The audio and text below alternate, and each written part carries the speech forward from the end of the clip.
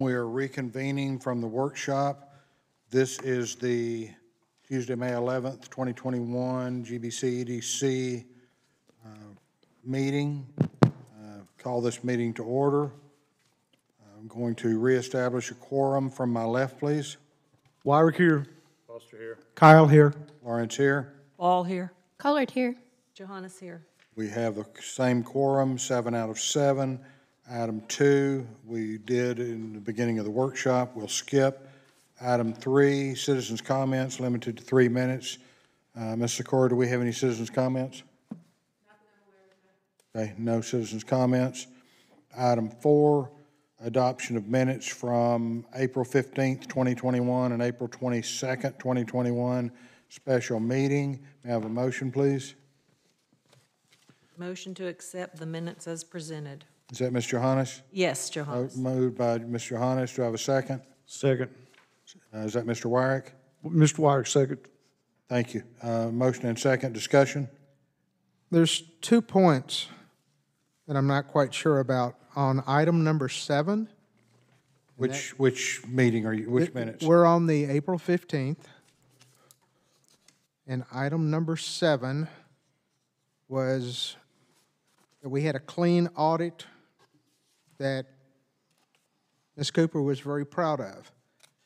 Ms. Ball asked me to look at that, and I found a couple of discrepancies in it, and I, we just, and I think she said she has discussed it with Ms. Cooper, but there was a couple of serious problems. Some dates were incorrect, but more important, it says we were collecting lease income from the city of Gun Barrel City for Brenner Hall.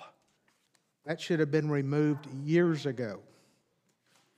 So we need to show that that, uh, those corrections need to be You made. must not have a copy of the final audit because I brought that to her attention and she took it out. All I saw was a draft, and that's what you told us we had, was from a draft. So I'm just stating the obvious. From So the those- draft, there was mistakes. Those two items have been corrected, Ms. Cooper? We had a clean audit, yes. That was her error, not ours, and it was corrected. But the Brenner Hall and the dates have been corrected? Uh, I don't know what the date was that you're talking about because she did not mention any dates being incorrect. She compared one year to the next and used the same year. It's a typo. Oh, well, I Been think that's corrected. I probably talked to okay. her. Okay, so those two items have been corrected. And then on number 14, Same date? uh-huh, that's where we discussed the software. I believe part of the motion was that I had asked that uh, Ms. Johannes get with the city manager to make sure there was no conflicts in software. And there is not. Well, I'd asked Ms. Johannes to do that, so I was expecting that to be in the minutes, not just truncated and disappear. So that needs to be added. Editing these minutes, I think, is a problem. Well, you are welcome to amend the minutes and put that in there, Joe. That's your prerogative. Well, I don't think they should have been edited to begin with, is my point. What do you mean edited? If items are missing, it has been removed, and I call that editing. Removed from what? Our minutes. You're saying that, that your request and Ms. Johannes' agreement to check with the city was not mentioned in the minutes and it should have been? Correct. Okay. Uh, Could we, could we? All right, get- well, we're happy to add that, and that it has been done. That- Okay, We'll amend the minutes that way, uh-huh. okay, and Ms. Johannes did check with And we're uh, good. Jeff and everything's good, okay. Good. Any further discussion? Hearing none, we will vote to approve, uh, to adopt the minutes from April 15th and April 22nd, 2021, regular and special meeting. Vote for my right, please, As amended? As amended. as, as amended. Thank you. Johannes, yes. Collard, yes? All yes? Lawrence, yes? Kyle, yes. Foster, yes? Wyrick, yes. Motion passes. Item five, adoption of March financials. May I have a motion, please? Make a motion to adopt March financials. Second. Wait, what happened to April 22nd? We did them as a line item. We did it together. The, the motion was to approve the, to adopt, Well, my mistake. I'm going to ask that that be reopened and uh, one more correction made, and that's on the 22nd, April. Their date under C, under line item 5, was supposed to be 2021, and that's just a basic typo. What? Pardon? For the rest of this fiscal year ending in September 2021, it says ending in September 2020. Typo, Robin. Robin, did you get that? Thank you. Anything else? No. Okay, we'll, uh, we'll need to revote. So, um, motion is to adopt the April 15th and April 22nd uh, uh, minutes as uh, amended, as a, and uh, is there any further discussion? Hearing none, we'll vote from my right, please. Excuse me, I need clarification. Where was the 2020 stated? It's uh, item 5C at the bottom of the page. It says, Is that Mr. Kyle's comments? It is. Okay, Mr. Kyle's comments were done verbatim. From your note, you said 2020. I said it may be a typo, but from the one I read, it said 2021, so I am correcting it. Okay, thank you. There were other typos in that, too, in that, um, Well, that's a major one. okay. okay, well, trying to move on. Uh, Vote for my right, please. Johannes, yes. Collard, yes. Ball, yes. Lawrence, yes? Kyle, yes? Walsh, yes. Wyrick, yes. Okay, so there is a motion on the floor to adopt the March financials. Motion made by Mr. Foster, is that correct? Wyrick. Mr. Wyrick, and seconded by Mr. Foster. Yes. Okay, discussion?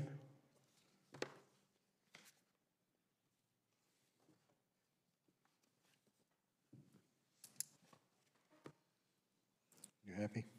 Okay. Uh, Hearing no discussion, we'll vote for my right. Johannes, yes. Collard, yes. Ball, yes. Lawrence, yes? Kyle, yes? Foster, yes. Wyrick, yes. Motion passes. Item six, discuss and/or take action on moving $500,000 from TexSTAR to Southside Bank in order to earn more interest. May I have a motion, please?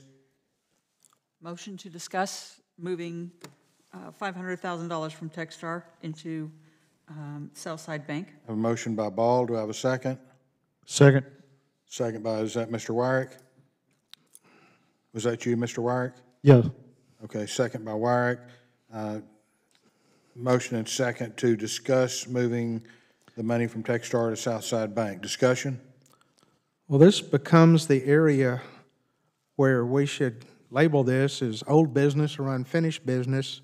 At this time, we have no reason to move funds between accounts.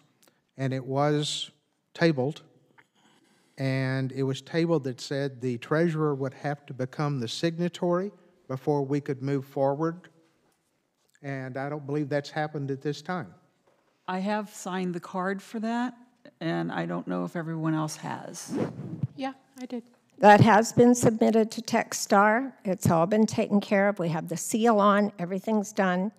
And I am quite comfortable that TexSTAR will be very happy to have Susan's signature there. And uh, then have we set up a meeting with TexSTAR to explain historically, the state of Texas uses money in TexSTAR as its long-term investment? So that would be, Sir, we don't need a meeting. We can either decide that we are going to transfer this money or we are not. Thank you, Ms. Do Cooper. Ms- Mr. Kyle's question is, have we set up that meeting? And to my knowledge, we have not. Is that correct? Right. Correct, we have not. Okay. Susan, could you reach out to the TexSTAR people and have them, make arrangements for them to do a presentation and explain their interest rate? And then we can compare that to Southside Bank. Um, This is not a take action. It's tabled currently.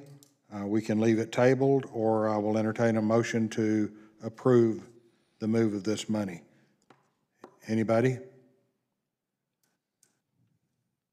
Hearing no motion, it will stay tabled until we set up that meeting.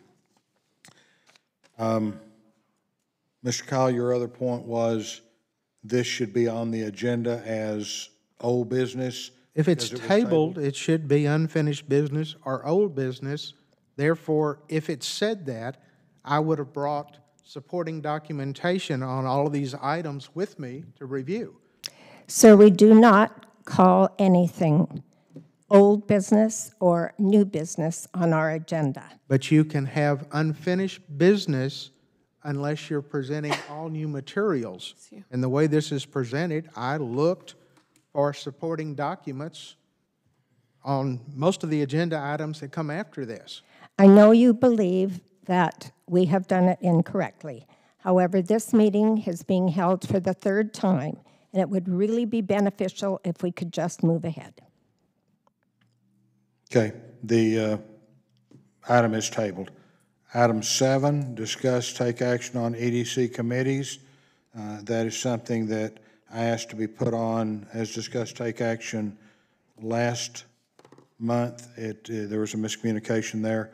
Um, What I'm proposing here is, now that we've got the bylaws uh, done and the bylaw comparison done, I propose that, and I'm going to ask for a motion here in a minute, I propose that we dissolve the bylaw review committee and the standing governance committee that is headed by the vice president per the bylaws.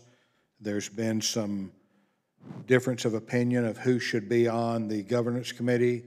Uh, I don't even know where the term governance came from, but my thought is here, it has never been my intent nor this board's intent to slide anyone or to omit anyone from a committee. And there are, there are several people that felt uh, Ms. Johannes should be on the governance committee, which I viewed as different than the bylaw review committee. But my initial thought was that that governance committee was formed and Ms. Johannes was put on it, and I was on it as the vice president. Since that time, officers have changed. I am president, Mr. Mr. Foster is vice president. So when the need arose to review the bylaws, per the 2019 bylaws that we are currently operating under, Mr. Foster, as vice president, was head of that committee. Also, per the 2019 bylaws that we are currently under obligation to operate under, Mr. Kyle, Mr. Foster, excuse me, the vice president chose his own committee. So uh, I want to publicly apologize to Ms. Johannes if she felt slighted. She's never told me she did. Other people have told me she she possibly did. Uh, Ms. Johannes, if you felt slighted, I apologize. That was not my intent. It has never been my intent to uh, omit anyone from any committee. Uh, It is my stance that the bylaw review committee was formed in accordance with the 2019 bylaws, and Mr. Foster, as vice president, was head of that committee.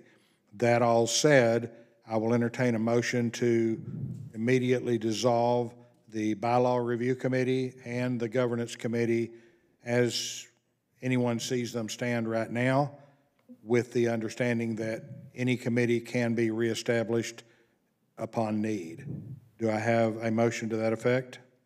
Motion, t- uh, Collard, motion to dissolve the bylaw review committee and the governance committee. Motion by Ms. Collard. Do I have a second? Ball second. Ms. Ball, second. Do I have a discussion on that? Hearing none, I will vote from my left. Wyrick, yes. Foster, yes. Kyle, yes. Lawrence, yes? Ball, yes. Collard, yes. Johannes, yes. Thank you. Motion passes. Item eight, discuss and/or take action to defer payments on slap and good loan. Again, that one's mine. Um, At the council meeting, there was some talk without naming uh, uh, who they were talking about. I had a feeling I knew who they were talking about. You can draw whatever conclusions you wa, would like on that. Um, Unfortunately, the council had no, no power to do anything at that time. Um, I am a, a customer of Slap and Good. Uh, I know Shannon, and I had lunch up there a week or two ago, and she came over and sat down because she knows who I am. And we talked and talked about COVID, et cetera. Long story short, uh, I said, what's, what's happening? Why, you know, when are you moving in? And she alluded to the fact that there were some issues that she was trying to resolve with the city. And I said, well, just guessing with your current COVID situation and everything else, this is probably causing a financial hardship on you because I know you're making payments. Ms. Cooper has made the statement to me and to this board that Slapping Good is current on their payments. Uh, I feel they'll be good for this city. And she said, yes, I'm making payments to the EDC, I'm making rent payments, et cetera. And yes, it's, it's a burden. And I said, with your permission, I will approach this board and suggest or ask for a motion to defer your payments, your repayments to the EDC until a month after you reopen, you're allowed to open and you get all the items resolved, be it city or fire marshal, whatever. So I'm asking for a motion to defer Slap and Goods payments uh, until repayments to the EDC from this point forward until a month after they're, uh, uh, receive their CFO and open for business. I'll make the motion for the payments to be deferred. Ms. Johannes, thank you. That Wyrick, motion- second. And Mr. Wyrick, second. Discussion? I was there today, I was in Kemp all day today on business, and we ate there. And I saw her and, you know, said, we're looking forward, and you could tell, you know, she's definitely super stressed out and wanting to get here, and, and I didn't mention any of this, you know, I just was talking to her, so I'm sure it'll be greatly appreciated, and they have a great business, and I was with some of the officials from Kemp today, and they were all talking about what a great business, and that's been to their community, so. I think really this is the right thing to do. Yeah, I think this is the the right right thing. thing. I have a question. I- They've been trying, uh, uh, I'm sorry, go ahead, Susan. I have a question. So do we have any idea, whatever the hangups are with the city as far as permits, how long those might take? I personally don't, and it's not this board's business to interfere with that. Ms. Cooper, as the head of the EDC, might want to ask around, or you may have knowledge with Shannon that I don't. There are discrepancies on both sides. I will tell you, though, that I, I do think that it's a strong business and that we definitely want it here. And probably anything we can do, the fact that she started making her payments when she didn't have a place, to me said a lot.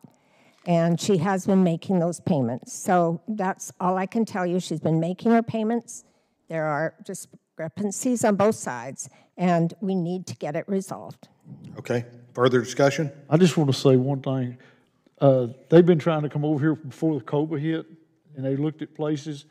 Uh, Future EDC director was working hard to try to get them in here too, and certain things that hit them just backwards and backwards and forwards, and then this COBA hit too. But they're still trying, they're still doing the right thing. Mm-hmm. And I think by us doing this here is the right thing, and they will be coming to Gun Barrel City, hopefully by the end of this year, if everything goes right. And they're, they're, because they're a great business. They're, you know, they just haven't been able to get the dominoes in the right spot here yet. Mm-hmm. And they're here, they're finding it, it's just getting them, getting them all, all the papers signed right over here to fall into place, and they'll be here. So I just think this is, this is the right thing for us to do here. I agree, and, and let me reiterate, this was not something she approached me on, I approached her. Because I had heard a little bit about the situation, and I've, I've been wondering anyway, so I think anybody else in her situation probably would have said, hey, can I hold my payments? But she didn't. That Right. speaks volumes. Uh, further discussion? Hearing none, we'll vote from my right. Johannes, yes. Collard, yes. Ball, yes.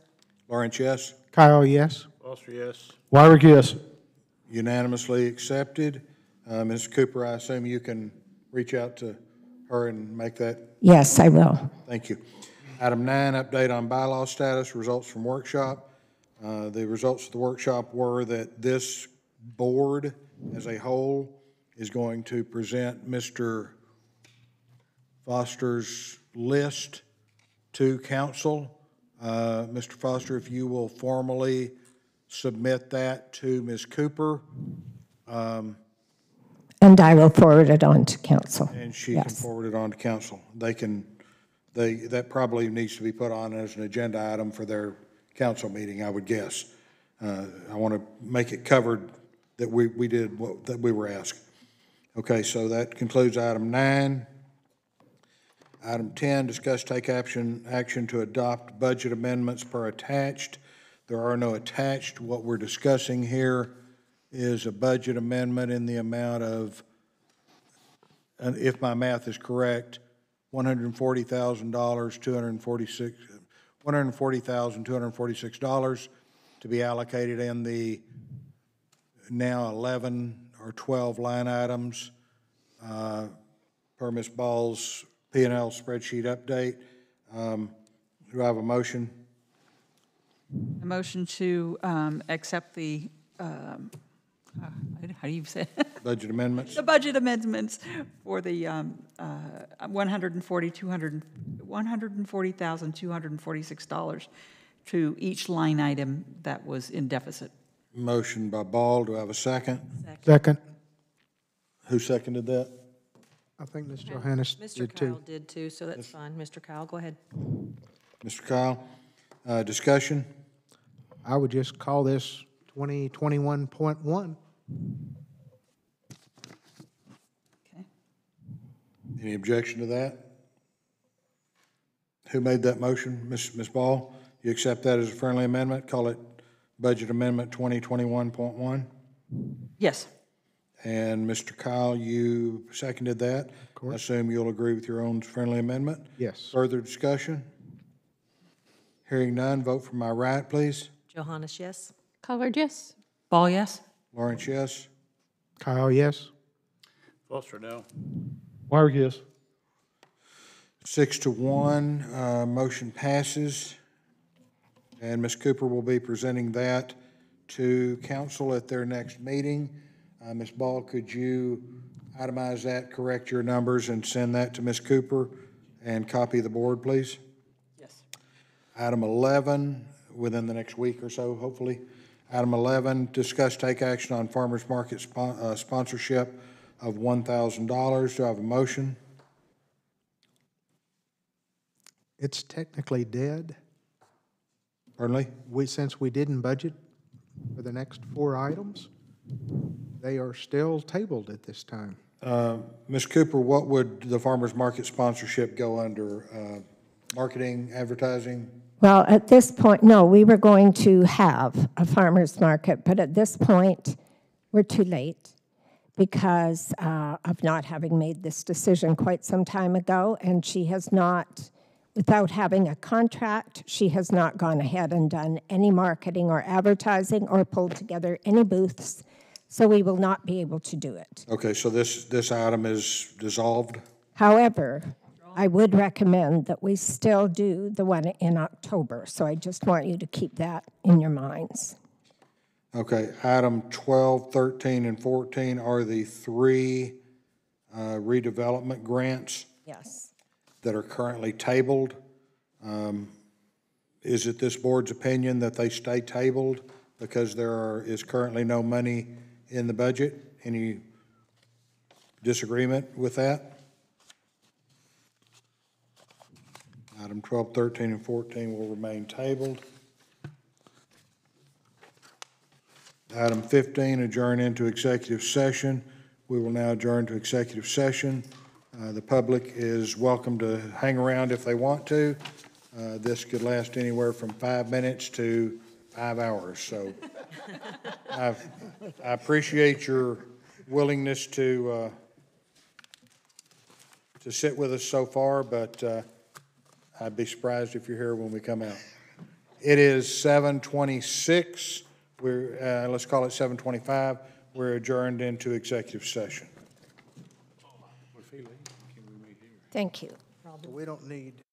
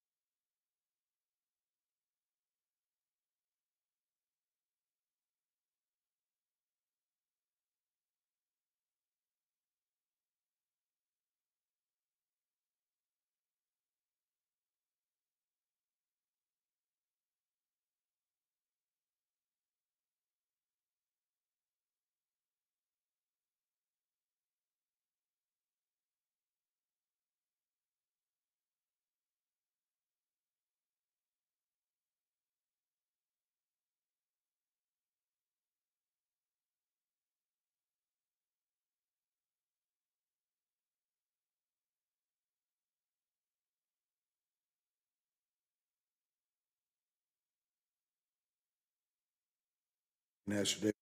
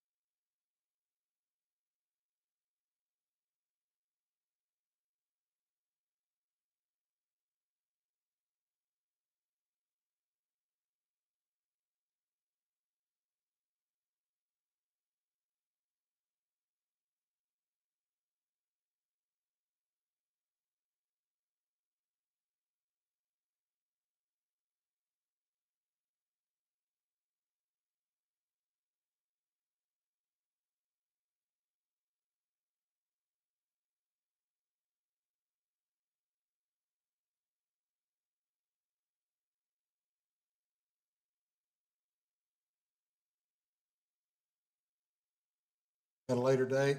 Robin, is the recording started again? Yes. Okay, we're reconvened into general session.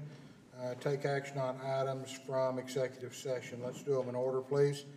May I have a first motion? Uh, Collard, motion to approve the new Browning project, um, a loan for $200,000 on a 10-year note at 2% interest, with the understanding that the purchaser's home will be used as collateral. And Ms. Cooper will look into the REDG money as a first option and reserves as a second option. Have a motion by Ms. Collard. Do I have a second? Ball second. Have a motion and second. Uh, I guess we have no discussion on this since we, it was in executive session. We'll move straight to vote. Vote for my right, please. Johannes, yes. Collard, yes. Ball, yes. Lawrence, yes. Kyle, yes. Foster, yes. Wyrick, yes. Motion passes unanimously. Uh, Item two, may I have a motion, please? Motion to approve purchase of property on Main Street at $325,000. Motion by Collard. Do I have a second? Second by Johannes. Second by Johannes. No discussion. Vote from my right, please. Johannes, yes. Collard, yes. Ball, yes. Lawrence, yes. Kyle, yes. Foster, yes. Wyrick, yes. Motion passes. Item seven, discuss take action on increasing the loan amount at Southside Bank, amount TBD with motion. Uh, We're going to table that at this time. Well, I think we should do it, otherwise I'm gonna have to, well, we have not, oh, here's another deal we negotiated. Um, Well, until we get the TexSTAR interest resolved. We are making a ninety-day close on this. We are doing a sixty-day, um, I always wanna call it, uh, if there's, what's the, what's the real estate term? Um, Inspection period, yes. I always wanna call it due diligence period, but it's called inspection period. We're asking for a sixty-day inspection period. At the end of the inspection period, then we have our thirty days to close. That gives us ninety days. Okay. They may not agree to that, that, but that's what we're asking. Okay, then I might suggest that we go ahead and have Ms. Cooper check with Southside about increasing the loan amount uh, with the understanding that we may be making a transfer. You might come up with a different amount from them. They might say, if I had 200,000, I'd be happy. Okay. Okay, Why don't you ask Prosperity also? You have two banks. Ask them both for, Because we already have our loan with Southside, and we're just increasing it. you're just going to dump it into one payment. Did I say South, did I say it right? Southside, you did. Okay, uh, so do I have a motion to uh, increase the loan amount at Southside? by three hundred and twenty-five thousand? We're gonna, we're gonna get that amount into our account, Okay, and then we'll still have hundred and seventy-five left in our account. assuming that's 2%, that's still, Yeah. okay, do I have a motion to that effect? Motion, uh, Collard, motion to increase the loan amount at Southside Bank by 500,000. Do I have a second? Second. Second by Ms. Johannes. Dis- uh, Discussion? Hearing no discussion, I'll move to vote. From my right, please. Johannes, yes. Collard, yes. Ball, yes. Lawrence, yes? Kyle, yes. Foster, yes. Wyrick, yes. Motion passes unanimously. Motion to adjourn? Collard, motion to adjourn. Second. We're adjourned.